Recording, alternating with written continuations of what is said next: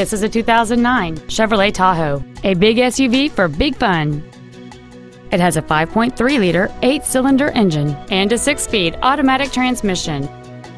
Its top features and packages include the adjustable driver pedals are another great feature. They allow you to tailor the position of the foot pedals, moving them closer and higher to perfect your control over the vehicle. Memory settings for the seat's positions, so you can recall your favorite alignment with the push of one button. A power rear liftgate, a 10-speaker audio system, leather seats, an air suspension, aluminum wheels, a low tire pressure indicator, third row seats, and this vehicle has fewer than 17,000 miles on the odometer.